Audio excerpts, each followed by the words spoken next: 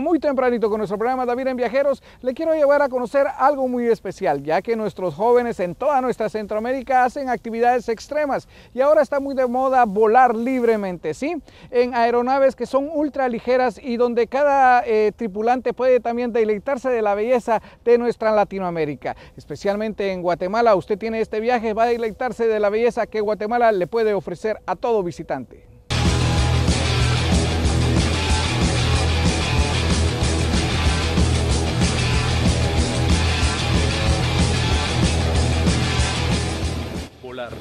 No existe nada comparado, nada que se le asimile, pero de todos los medios para surcar el cielo, ninguno se compara a este.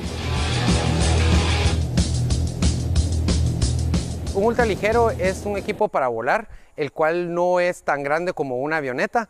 Tiene bastantes de los equipos y se dividen en, en varias ramas. Están los ultraligeros y el que fuimos a volar hoy es el microligero, Técnicamente se trata de un ala delta montada sobre un carrito a motor, una aeronave relativamente sencilla que permite maniobrar y vivir una experiencia aérea mejor que la de cualquier avión comercial.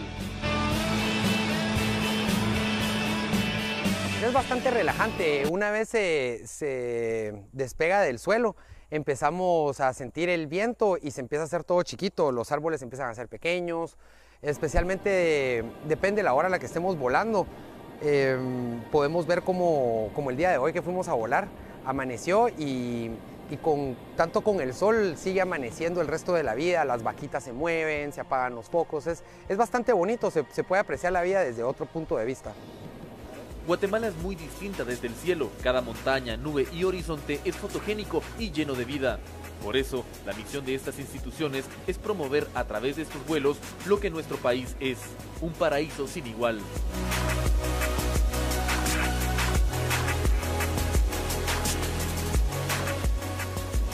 Nos dedicamos a promover todo lo que es ecoturismo, deportes de aventura en, Guatemala.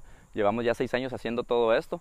Eh, la idea directamente de lo que están viendo ustedes hoy, eh, la parte de los, de los vuelos, siempre hemos tratado de, innovar y por sobre todo la gente confunde mucho el tema de deportes extremos como algo bastante complicado de hacer. Nuestro objetivo al final es poder llevar a la gente a hacer todo esto de una forma mucho, mucho más fácil, mucho más práctica, mucho más segura, con toda la información antes de, para que ellos se sientan de la, de la forma más eh, segura, que al final es lo que, lo que queremos hacer para practicar esos deportes. El micro ligero es tan versátil y exacto que puede volar a pocos metros del suelo o en este caso del mar habilidades que son utilizadas al máximo cuando la nave es dirigida por un piloto experto.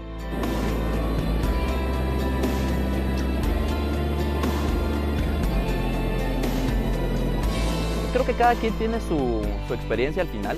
Uh, particularmente para mí es sumamente relajante el hecho de poder ver los paisajes desde, de, ya sea desde 1000, 2000, 2000 pies de altura, dependiendo de las condiciones de clima. Yo creo que Guatemala eh, definitivamente tenemos paisajes muy lindos para poderlos hacer. Muchas veces la gente pues cree que hay ciertas cosas que solamente se pueden hacer en el extranjero. La idea de esto es poder promoverlo, poder decirle a la gente si se pueden hacer eh, esas actividades.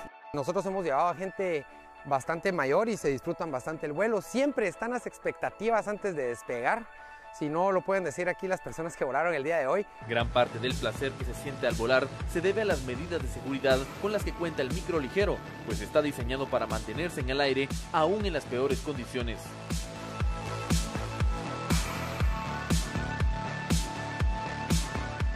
Además, durante el vuelo, el piloto realiza todos los protocolos aéreos y mantiene comunicación constante con la torre de control central este tipo de equipos es un equipo para volar, no es tanto como la avioneta para pilotear.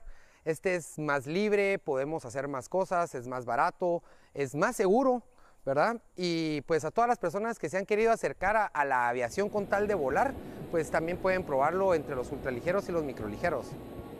La idea de esto al final es mejor vivirlo uno, uno por su cuenta.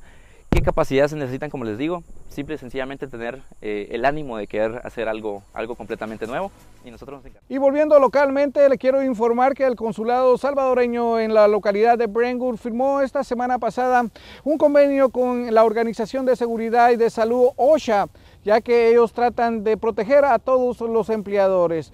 No importando su estatus legal. Cualquier trabajador que haya tenido alguna negligencia en compañía, en construcción, donde sea, puede también llevar su demanda por medio de los diferentes consulados. También déjeme decirle que Guatemala, así como diferentes consulados de nuestra Latinoamérica, ya han firmado estos convenios con OSHA.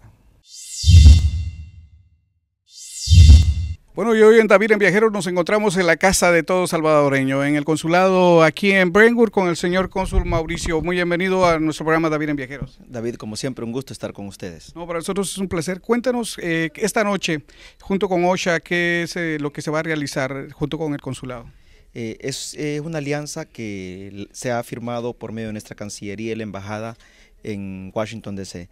Nosotros estamos reafirmando la alianza. el director local del área está confirmando con, el, con, el, con la firma del convenio que estamos ahora entre el Consulado eh, General del Salvador acá en Long Island y OSHA.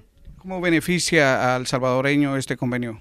El convenio eh, en, en, su base es para difundir, educar a nuestra comunidad que independientemente del estatus legal en el que se encuentre tiene derechos. Es decir, que para tanto el empleador como el empleado tiene derechos que se le cumplan para su seguridad en su área laboral.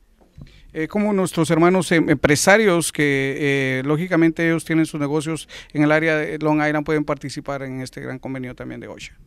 Eh, en este caso, pues nosotros vamos a empezar a hacer talleres con, la, con, la, gente de OSHA aquí en el consulado, en el cual vamos a invitar a diferentes empresarios para que sepan cuáles son también los derechos y los deberes que tienen tanto empleador como empleado.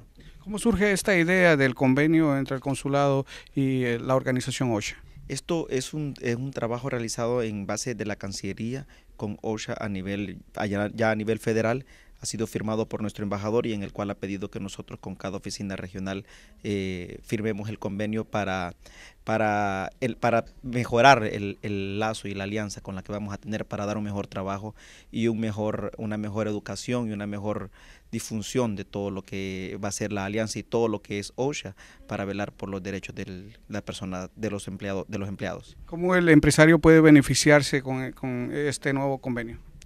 Eh, se beneficia en el sentido de que las leyes están cambiando, las leyes día a día cambian eh, nuestra gente por medio de OSHA se va a hacer saber, es decir, qué es, qué es el derecho y cuál es la obligación que él tiene.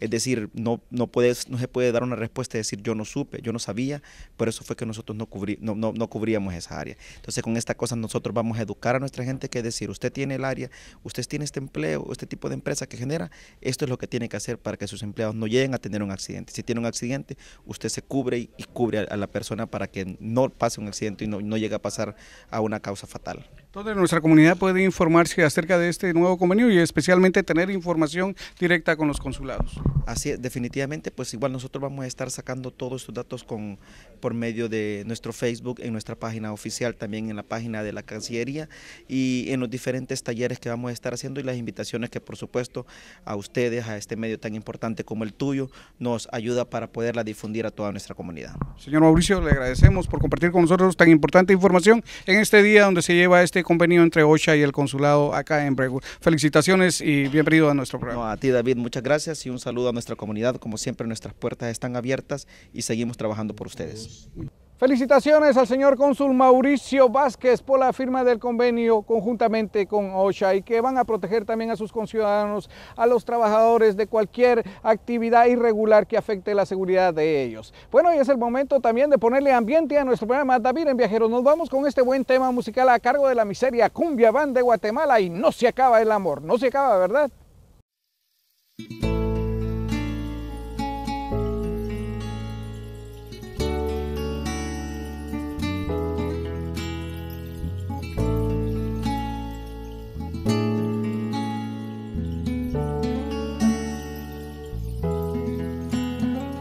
Sientas que no hay sentimiento, que a la leña le hace falta fuego, que una duda te provoque el necio, que la luna tiene un nuevo dueño, no hagas caso, quítate de en medio y a la loca, sácala del sueño, que esa duda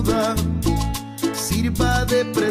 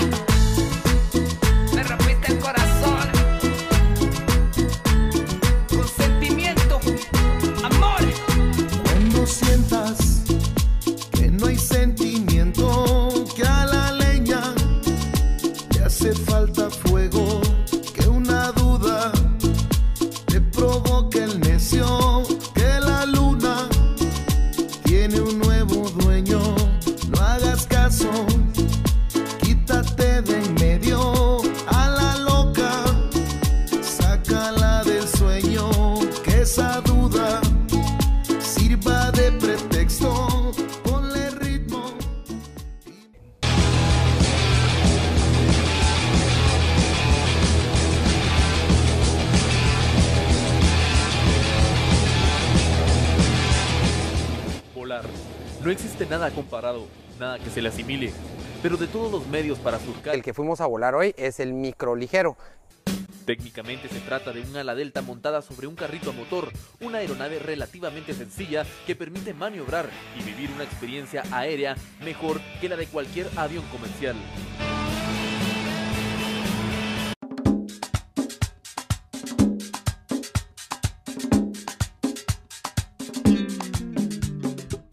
Muy tempranito con nuestro programa David en Viajeros, le quiero llevar a conocer algo muy especial, ya que nuestros jóvenes en toda nuestra Centroamérica hacen actividades extremas. El cielo, ninguno se compara a este. Un ultraligero es un equipo para volar, el cual no es tan grande como una avioneta. Tiene bastantes de los equipos y se dividen en, en varias ramas. Están los ultraligeros y Y ahora está muy de moda volar libremente, ¿sí? En aeronaves que son ultra ligeras y donde cada eh, tripulante puede también deleitarse de la belleza de nuestra Latinoamérica. Especialmente en Guatemala, usted tiene este viaje, va a deleitarse de la belleza que Guatemala le puede ofrecer a todo visitante.